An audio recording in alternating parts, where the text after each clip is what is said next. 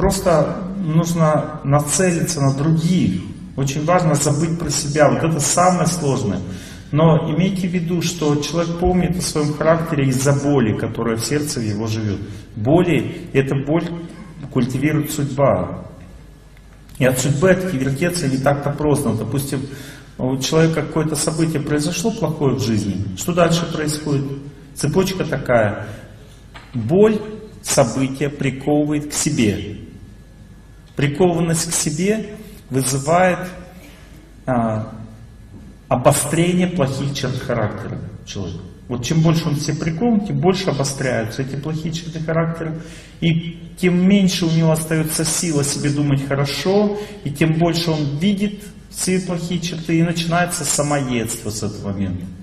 Плохое событие. Одна женщина ко мне приходит, говорит, Олег Геннадьевич, у меня муж святой. Я говорю, супер, поздравляю. Но я, говорит, грешница. Я говорю, как-то так не вяжется. Как-то святой, грешница. Обычно грешница с грешницей живет. Святой, святой. Вот.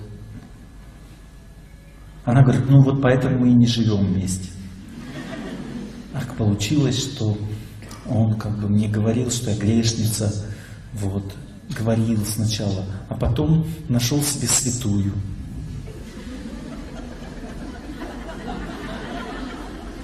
И вот со святой они сейчас вместе живут, а я грешница одна осталась. Вот. А я говорю, ну как этот человек, если святой, он же не бросает жену никогда, такого не бывает, вы что? Она говорит, ну как, он меня не бросил, я сама виновата. Это называется самоедство, классический пример. Ну, человек святой, Кабелин, бросил жену, пошел другой там, мозг ей запарил, что она грешница. Вот, по-русски, если говорить своими словами. Вот. А она почему так себя, вот вопрос даже не в этом, почему она так себя повела? Потому что когда человеку больно, боль вытаскивает наружу все плохое. Вот когда тебе больно, ты сразу все свои недостатки начинаешь видеть сильно, психика истощена, а не только видит, они и действовать начинают эти недостатки, когда ты истощен, слабым становишься психически. И естественно, так как человек потерпел поражение в жизни, у него самооценка снизилась очень сильно, и он начинает о себе говорить всякие гипертрофированные вещи. Вот это и есть штопор воронка такая, которая сама себя съедает. То есть чем больше крутится, тем больше засасывает.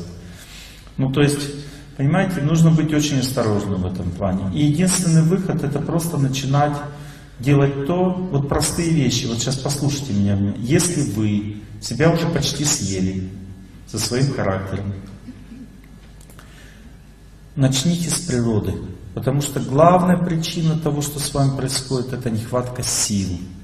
То есть у вас нет сил нормально жить, вам тяжело, просто боль у вас внутри настолько сильная, что вы не можете, у вас не хватает сил, и просто начните гулять на свежем воздухе, еще лучше быстро ходить, еще лучше бегать, плавно, мягко, ну то есть двигаться на природе.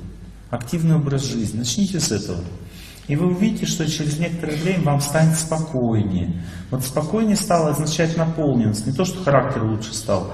Просто вы наполнились, и таким образом стали лучше, так как ребенок, он орал, кажется, какой у него ужасный характер вообще, какой ужасный. Молоком накормил, такой. И какой хороший характер. Человек просто наполнился, понимаете, у него появились силы. Так, взрослый человек точно такой же, просто ребенок, он сисью сосет, а взрослый сосет парк. То есть пошел в парк, прогулялся вместо сисей. Парк не кабельное телевидение вместо сессии, а парк, понимаете? Надо понять разницу. Кабельное, да, телевидение? Или как Кабельное, кабельное. Вот.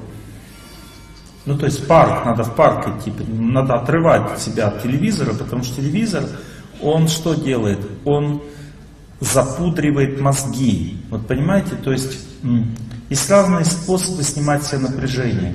Один из способов это запудривать себе мозги. Вот, допустим, попить кофе, покурить сигарету, выпить э, спиртного, посмотреть э, «Мертвые не потеют», там, еще что-нибудь в этом роде. Кинг-Конг какой-нибудь или пинг-понг. Вот. Ну, что-нибудь такое посмотреть. Вот. Это запудрение мозгов. Морду там побили друг другу там, и уже как-то мне легче стало.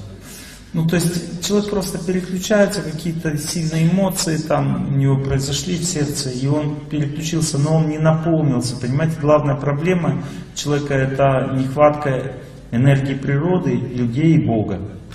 Когда нехватка энергии природы, человек становится раздражительным, э, уставшим, у нее теряется концентрация, работоспособность, женщины капризными становятся, мужчины становятся напряженными, зажатыми, грубыми, это нехватка энергии природы. Слышите меня, да? Теперь, когда нехватка энергии людей, что с человеком происходит? Женщины становятся мечтательными, ленивыми, пассивными, депрессивными. Мужчины становятся, когда нехватка энергии людей. Мужчины становятся замкнутыми, отгороженными, вредные привычки у них появляются, зажатыми, грубыми, импульсивными. Это признак того, что женщине надо что? Больше в обществе с людьми быть, заботиться о женщинах, о детях, о стариках. Мужчине нужно тоже по-мужски делать добрые дела. Есть еще также имеет значение развлечения. Допустим, женщина развлечением является болтать с женщиной о чем-то хорошем. Или собраться в женском кругу, там, э, поговорить попить, пироженки поесть. Но только в дневное время, да, понимаете, не на ночь. Вот. Мужчине волейбольчик поиграть, там еще во что-нибудь, побороться. Вот. Понятно, не с динамитом там на речку. Как эти Вицин Николь Баргунов отдохнули хорошо и там. Вот. А Нормальный отдых такой, спортивный, мужской. Это заряжает, дает силы, доброту человеку дает. Вот доброта в характере – это нехватка человеческой энергии.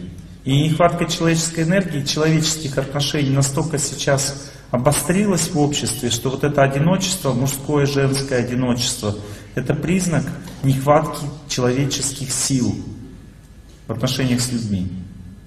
Но другими словами, если женщина одинока, значит у нее мало сил в общении с людьми. Есть же силы такие, как штангу поднимать, есть силы в общении с людьми. И вот эти силы в общении с людьми, она такая добрая, ласковая, нежная. Я смотрю ей вслед, ничего в ней нет, только я гляжу, глаз не отвожу. Понимаете, то есть женщина может даже не внешне быть некрасивой, но она может так себя поставить, так вести себя в обществе, что вот лучше всех будет первая девушка на деревне.